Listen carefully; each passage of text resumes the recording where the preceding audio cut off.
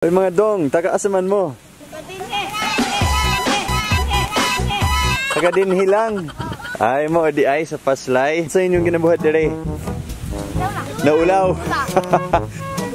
Nagdula? Unsa inyong gidula? Baka. Ah, mo ba? Walingaw kaayo. Pwede ka magbantay sa kotse? Pwede. Tagpila man.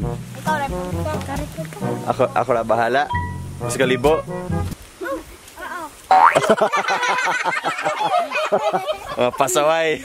1,000 pesos to take care of the car. Mayang buntag Pilipinas na kami diri karon sa Asos ka bukid. Karon mo ato mi sa Kwan Hot Springs diri sa Paslay sa Dawin. Dul sa Dumaguete. This place is great. Kay gibayaan man ni siya. So, walay entrance fee, mga besh. Ah, kamote. Kamote. O di ay. Tagpila man na bay. Ah, baka, baka.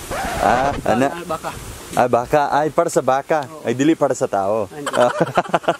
Ang minamahal ko po, aking diwata. Okay, so we've come to a bridge. Safe ba ni Magnus? Dili, man? dili safe. Dili siya safe. Nawatampok ang tao. Usa-usa ra.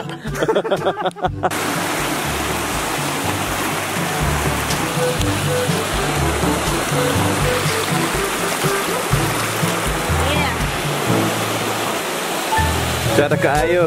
Init man kaayo dire. Mga mga ni. Mga na ni ang hot springs. Today we're with the Bongo Bongo Divers crew from Darwin. Here's my instructor, Dave. Hello. Hit him up on Instagram, single pa na. Link in description below.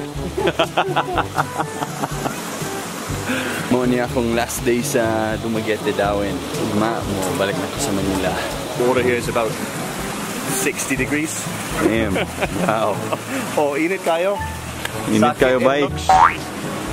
Sakit sa itlog. Oh, sakit sakit sa itlog. Mga tanang laki dire, ingnan siya. Humana. Ego na iyang itlogs.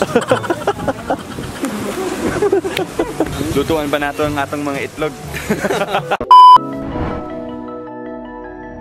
G'day there, my name is Dwayne Woolley and I am the creator of the Learn to Speak Visaya course. From a native English speaking perspective, I know how hard it is to learn Visaya, what questions you might ask and what struggles you might face. So, together with my co-teacher Shanta, we have compiled all our knowledge and experience into one epic crash course.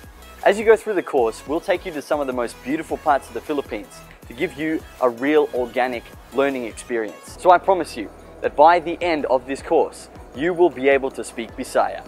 So grab a notebook and a pen, and I'll see you on the inside of the course.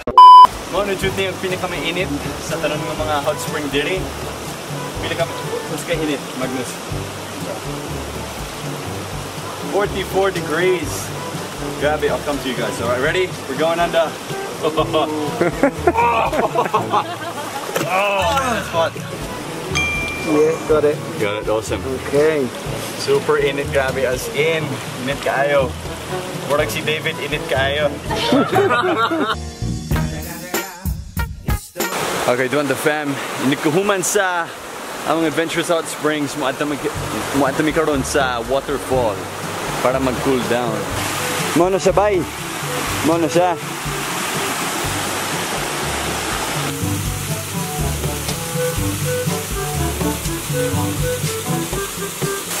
Na good ni mga bay.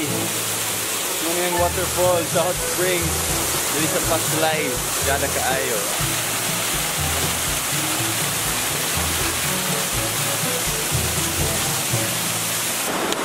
Butan kayo kabay.